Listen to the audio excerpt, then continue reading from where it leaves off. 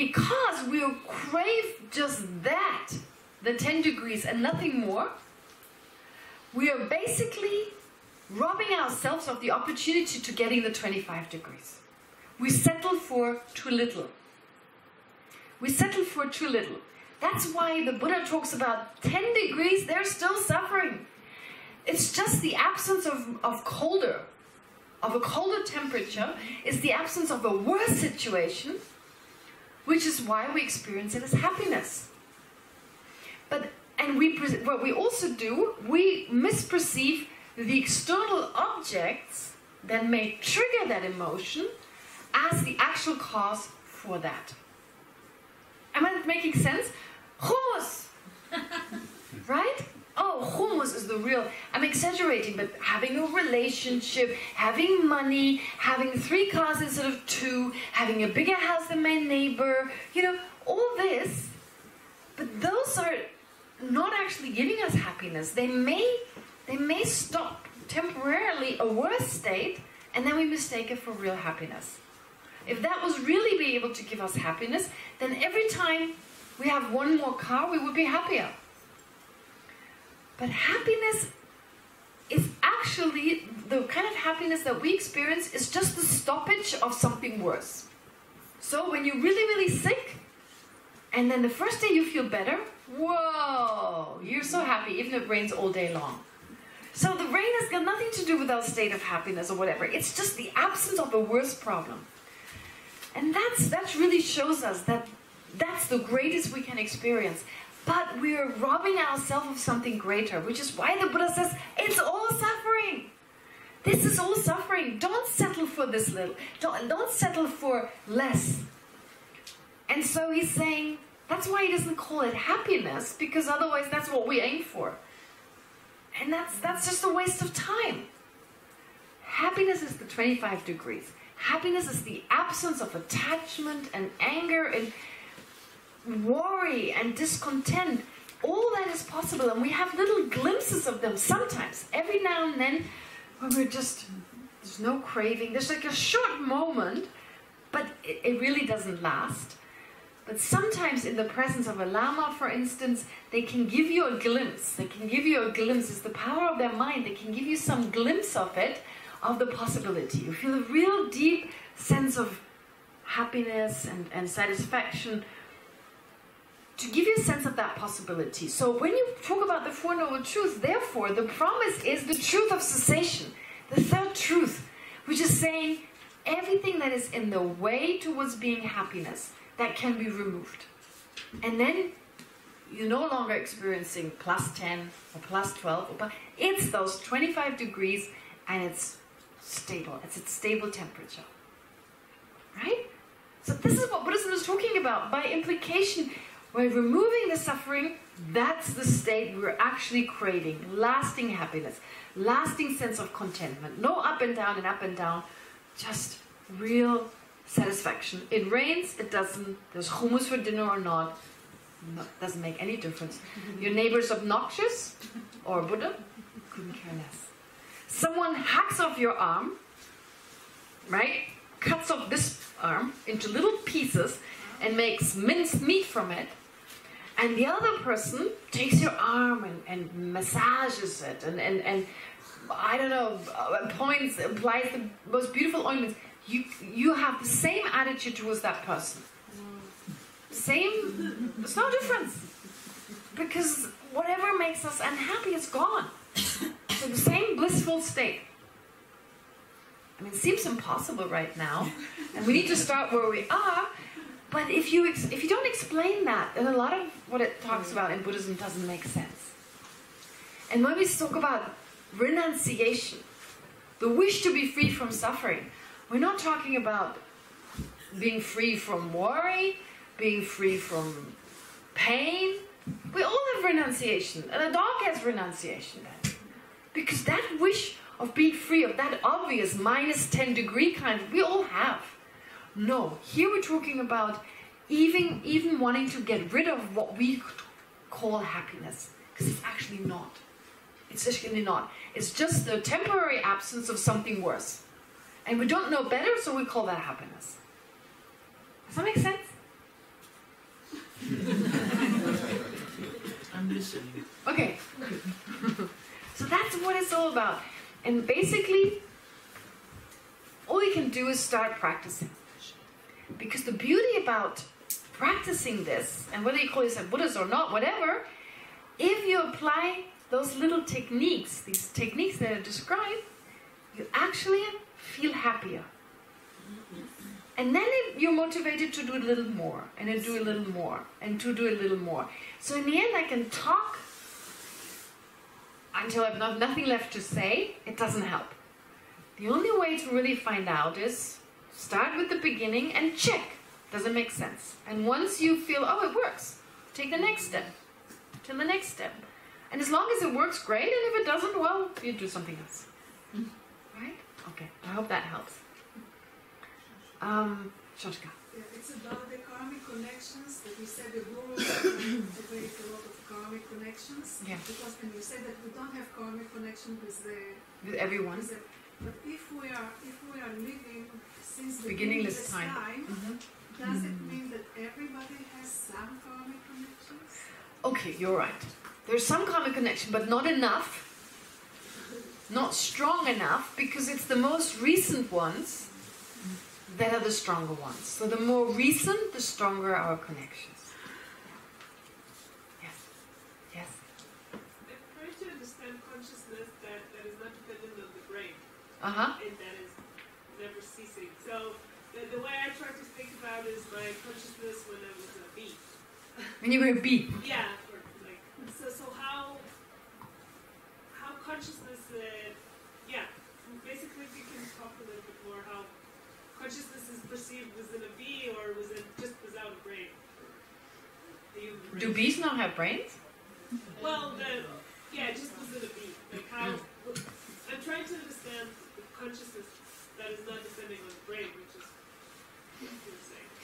Yeah, yeah, no, no, it's, it's a good question. Like, I guess the nervous system is, of course, not the same as a brain. And I don't know whether bees have a brain, but I mean, there's certainly living organisms that don't have a nervous system but don't have a brain. So, a brain is not absolutely necessary. Um, of course, even like a person who has near-death experience, when the brain is no longer working, there's a brain, but there's no brain that is in any way effective. So you can, even while you're still a human being, when your brain stops working for a while, it doesn't mean your mind stops working. But then you can also take birth in a in a form of in the body of a being that doesn't even have a brain. So how's that possible? Well, the thing is, this comes a little later. We have coarser minds and we have subtler minds. A very subtle mind, at the time when you have a near-death experience or when you're dying, doesn't need a brain. But then when you're reborn, you, you can't remain in that subtle state. A Buddha can. That's what you're aiming for. To gain control of the subtle state, that's the main aim of Tantra really, to utilize the subtle state such that it remains. And then that becomes the mind that is now ever present. We can experience this, and it's very blissful. It's, it's said to be very blissful when it arises, but we won't be able to hold on to it. We'll then need to move on. So within this very subtle mind, there's no anger, there's no attachment. However, we cannot hold on to it, and we are born in a coarser state. And that coarser state, if it's the a bee's mind, because there's no brain, we won't be able to do the same thing that we can do as a human. So the great advantage is to have a human brain, because although in both cases the mind is coarser, but because the coarse mind depends on a brain, in the case of rebirth, uh, not in the formless realm, but in a form realm, it depends on a brain to be able to do the things we can do as humans. It's good to have a human brain. So what can I say?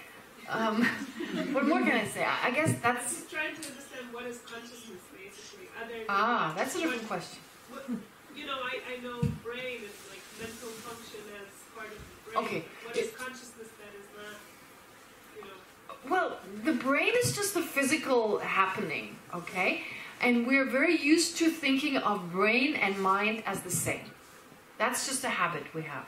So my recommendation would be learn more about the mind. So we've already done a lot of it, but that's of course not enough. So to learn, get a better sense of what the mind is. So the best way is really to study this and to to to to um, apply this to your own life. Right? I mean, right now you're experiencing heat or cold, right? Now we think it's the body that experiences that. But that experience of like, oh, it's uncomfortable, or it's too hot or too cold, the body doesn't experience that. I mean, the body has certain chemical reactions, it, it goes through chemical reactions, but it's not like, it's not the body experiencing as such, we just say it is. It's the mind that experiences that. Comfortable, not comfortable, pleasant, unpleasant. So that experience of that is the mind. And the way to get to know it better is to observe it. To observe it. It's mindfulness of your own mind. That's the, the way to do it. And it just takes time. So my recommendation is therefore learn more about this, study more about it, read more of it. And once you have some kind of clear sense of what we're talking about in the mind, well, try to recognize it within yourself. And at some point, I think maybe maybe anger is a good way of like anger is a very strong emotion that is very difficult to ignore. Uh, it doesn't arise that often, so we're not that used to it. It's not it's not always present. And just watch this. Like, what does it do? How does it arise? What is its object? And in that way, just get to a better understanding of, of what anger is. So the brain is just neurons firing away, and I don't know enzymes and whatever. But they're not the anger. They're not the anger itself. They're not that experience of like, oh, I want to hit that person. The thought, I want to do this, I want to do. That's not the brain. It's just assisting that process. It's assisting. It's firing away the, the right kind of way. But it's the mind doing it. What else can I say?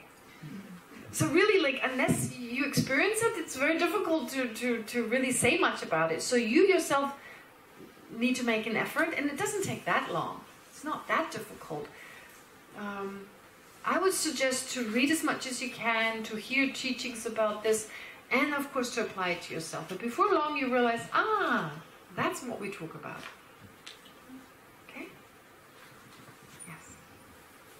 Yes? It makes me think maybe a weird a weird question maybe but if the mind doesn't need a brain Mm-hmm. then why there is not mind in trees or in rocks or in How do you know there isn't? know from Buddhist perspective it's I mean, as in like, is a stone a sentient being? Um, well, doesn't act like a sentient being. I mean, actually, like, strictly speaking, in the scriptures it says that trees and plants are not sentient beings. But it's debated. It's debated. Who knows? Can a tree become enlightened? I mean, not in the form of a tree, but, you know, be reborn. I mean, His Holiness is once uh, has been asked that question, and that was his answer. He says, "I don't know. In the end, we don't know." So, I mean, and, and another question is, for instance, artificial intelligence, right? Yeah. So, artificial intelligence, I don't know. Is it possible that you can actually artificially create a brain, uh, artificially create a brain where that that computer acts exactly like a living being? This I don't know, but that's possible. Um, but when I talk about artificial intelligence, I mean more like, can you build a robot someone is reborn in? right? That can serve as the base for someone. I mean, so far it's unheard of, but it doesn't mean it's impossible, right? We could maybe someone create such a brain, like such a mechanical brain, that someone is actually reborn in that robot. That would be a seventh realm.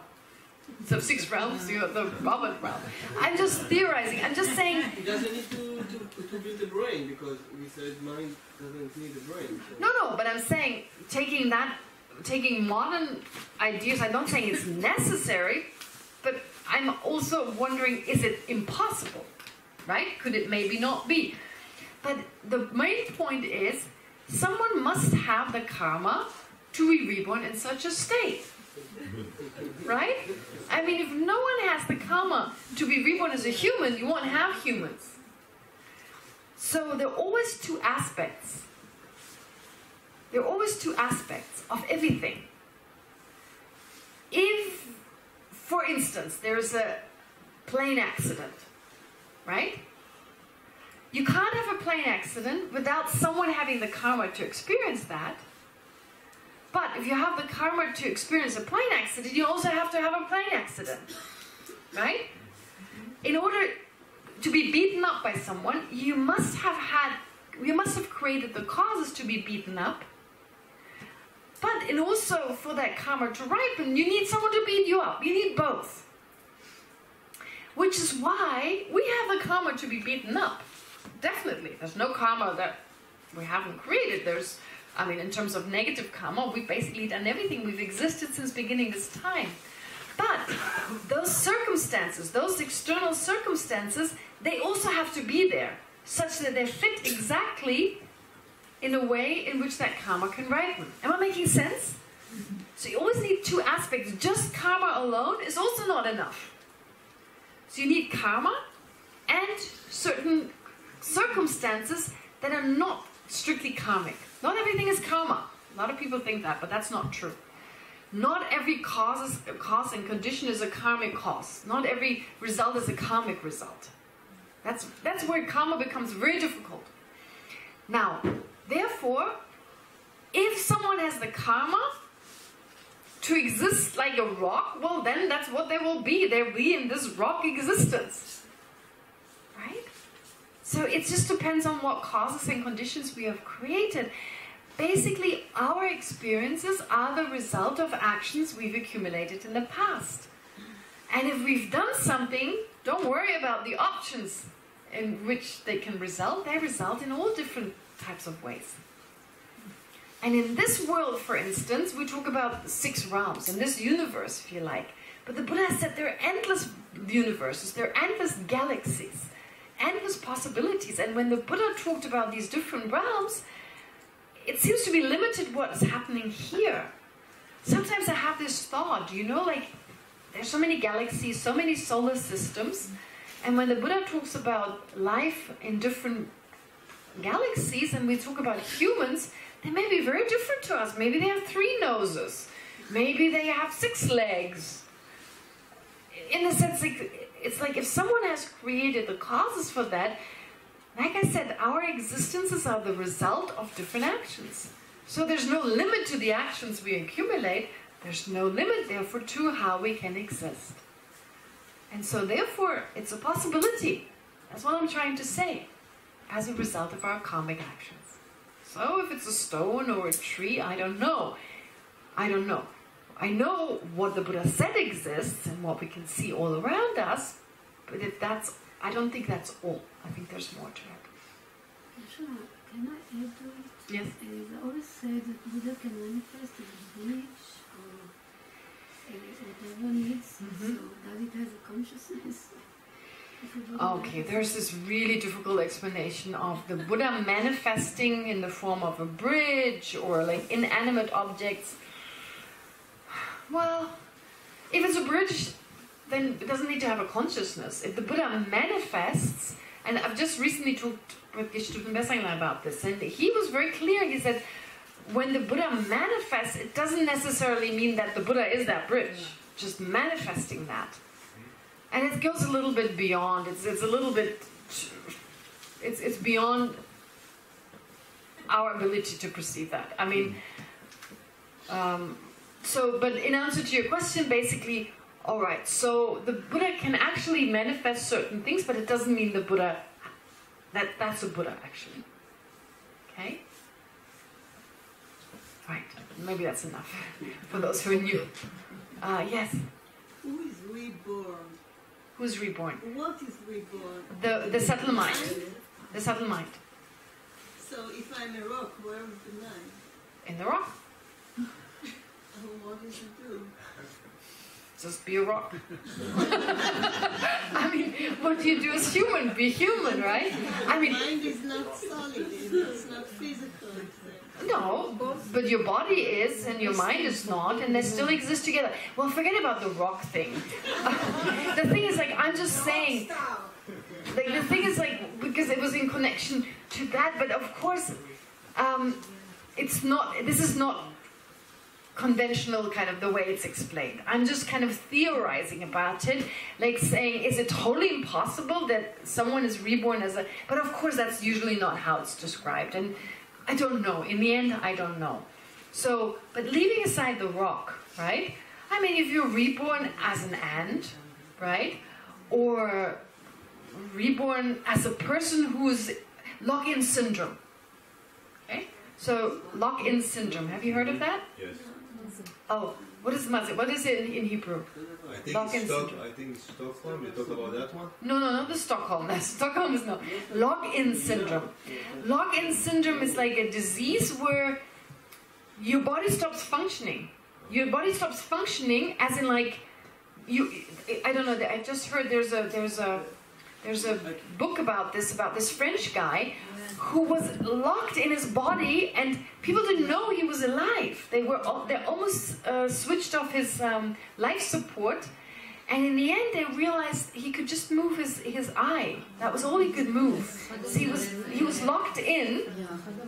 Something about the diving bell or something. The da- butterfly in the diving bell. So there's a movie on that, and there's a book on it.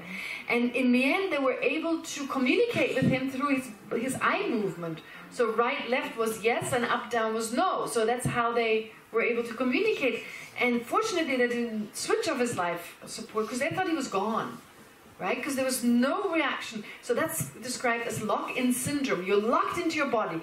There's there's nothing. You can't breathe on your own. Of course, you can't eat. You're kept alive by a machine. Ah, we have it in Israel. You have in Israel, yeah. So that person, if you experience that, well, what is the mind doing? It's going, bummer. How did I get into this? I mean, you still think you still think you have emotions. I mean, according to this description of this person, they said they were just thinking their words vividly. They could do everything else, could think in the same way, but they had no control of their body. They were basically locked into their body without being able to control it. So it's like, how's that possible? The body is physical, the mind is mental. How can you have no influence on the body? Well, it's possible because of the karmic connection, you're in that body. You have a karmic connection. The moment you're born, at the moment of conception, you and your body are linked, and you stay within the compound of this body. This is where the mind is located. Although it's non-physical, it is based on a subtle energy. So the mind, actually the mind and the very subtle energy that the mind comes along with, they cannot be separated.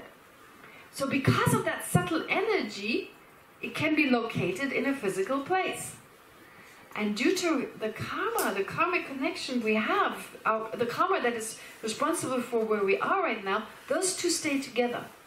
Until the karma, there's like every every karma that is responsible for us being born in a certain state comes with an expiry date in the sense that there's a limit to how long it's around.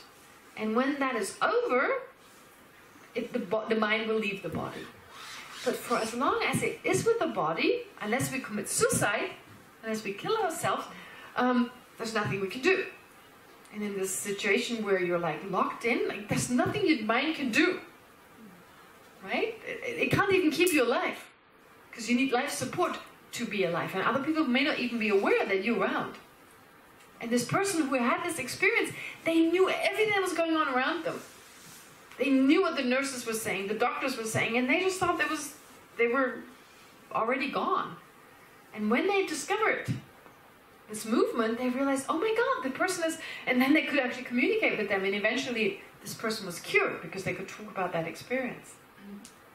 Yeah. Uh, I just want to take someone who hasn't said anything. Yes, yes. Um, question about free will. Free will. Uh-huh. Okay. If uh, the current um, state of my mind is dependent on the pa- past, Mm-hmm. like uh, moment, on previous moment, on previous moment, on previous moment. Yeah.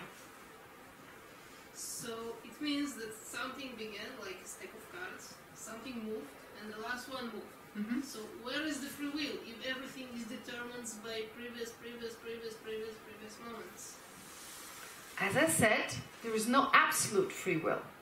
Where is the not absolute? everything is. There is relative if I free will. Uh, one card, Okay. So there's relative in relation to, for instance, you and I. Yes, we are the result of previous causes and conditions. And not just the cards that we, not just the cards that we put up ourselves that started to move, but also external circumstances. It's an extricate net of causes and conditions that give rise to us making a decision at some point in time. All right. So free will, free will means basically deciding independently of anything else, making a decision. Not possible. Not possible. Because nothing exists independently. So if nothing exists independently, you cannot have an independent decision making. So if you define free will that way, very simple. Nothing exists independently, so an independent decision doesn't make sense. All right. Now, having decided that, but can we talk about a relative free will? What does it mean, relative? My ignorance that I think I have a free will. No, no, no, no. That's a wrong. That's a wrong. Prisoner. No. Is this long or short? Depends. right? Mm-hmm. In relation to this, it is short. If you didn't have this, it couldn't be short, right? It's in relation to something other than itself that we can say it's short. If you didn't have anything in relation to which you could say it wouldn't be short. Am I making sense? And that is true for everything. That is true for everything that in relation to something other than itself, we can say it is this, that, or the other. Now, how is that true with free will? In comparison, in relation to, let's say, I'm chained to this chair, I said that before. I have no choice to leave this room. You, on the other hand, are not chained. So, you actually have a choice. Or to give another example, if you were born in Israel versus you're born in a brothel in Bombay, okay? You're born in a brothel in Bombay, who has more choices? Same. I think I have a choice to leave, but it's not true because my decision is based on Yes. previous previous moments. So my decision is based on it is predatory, Let's say. Okay. I just think that I have this choice to live. but it's based on this that I saw something and that. but you're again going into an independent choice. You're talking about an independent choice, right? You're saying, but we have already agreed there is no independent choice, okay? So there's no independent choice. This we don't need to discuss. Is there a dependent choice? Is there such that independence on certain causes and conditions?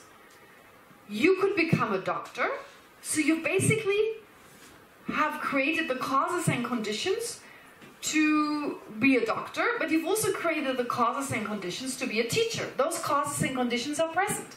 For the child in the in the brothel, for instance, there's no option. There's no option. But, or for like me being chained here, there's just no way. I mean, the, whether I want to leave or I don't want to leave, in the case of you, if you develop the wish to get up and leave, you can. And if you don't, you, you won't. Right? So, you could, if you had the wish to leave, you could leave. If you have the wish to become a doctor, you could become a doctor. If you have the wish to become a teacher, you can become a teacher. Someone who's in a brothel, they have the wish to become a teacher. They have, let's just take that scenario. I don't know whether it's the example. Of course, there are some people who can free themselves, but in general, if you're born in a place where your parents are going to determine